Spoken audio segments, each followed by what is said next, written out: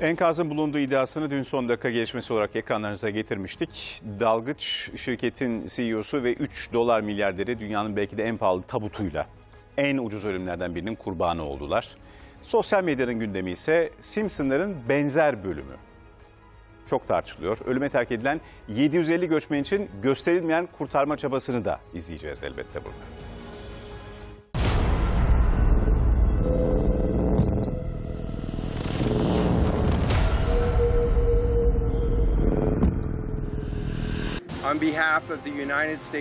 Amerika Birleşik Devletleri Sahil Güvenlik ve tüm Birleşik Komutanlık adına ailelere en derin taziyelerimi sunuyorum.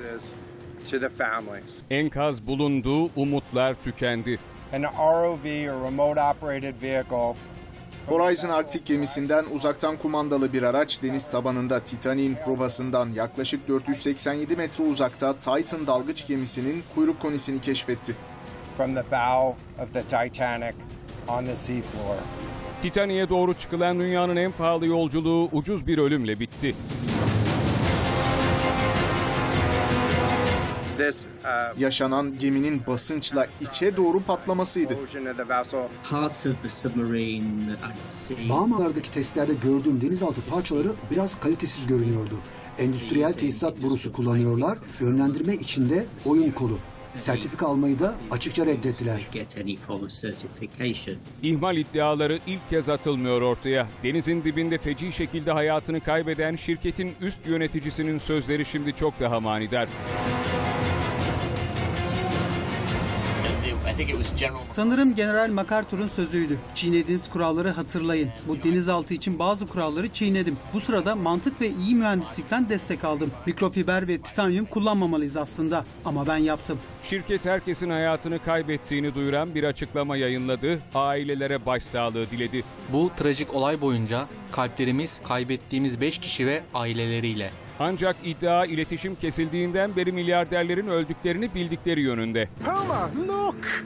The treasure of Piso Mojado! Ölümleri bilemese de güncel olaylara çok önceden yer veren Simpsons çizgi filminin bir bölümü de sosyal medyanın gündeminde. O bölümde Bart Simpson bir hazine peşinde denize dalıyor ve oksijeni tükeniyordu. Ne yazık ki Titan yolcuları onun kadar şanslı değildi. Ölümlerin kesinleşmesine rağmen enkaz bölgesinde çalışmalar sürüyor. 3800 metrelik derinlik işleri zorlaştırıyor. Tıpkı hava şartları gibi çalışmalara katılan bir tekne dev dalgalar sebebiyle alabora oldu. Yürekler ağza geldi.